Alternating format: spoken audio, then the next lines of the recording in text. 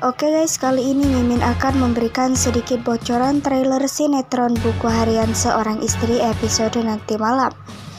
Tapi sebelum lanjut ke videonya, jangan lupa untuk tekan tombol subscribe dan nyalakan lonceng notifikasinya, agar Anda tidak ketinggalan info-info terupdate lainnya dari channel ini.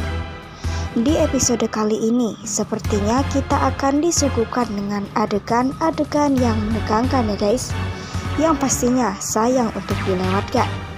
Yang mana sepertinya di episode kali ini ketika perayaan acara ulang tahun Nek Ratu ada sesuatu hal kejadian yang menegangkan ya guys.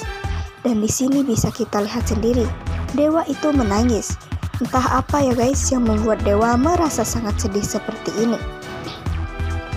Apakah ini karena terbukti bahwa dewa itu sebenarnya bukanlah anak kandung Rama Buana, melainkan anak kandung Arman. Namun, yang sebenarnya terjadi itu sebenarnya dewa itu adalah anak kandung Rama Buana.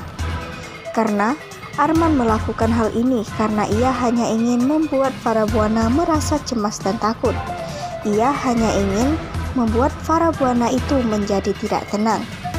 Namun kita juga tidak mengetahui dengan pasti ya guys, apa sebenarnya yang telah terjadi kepada dewa sehingga membuat dewa menjadi seperti ini.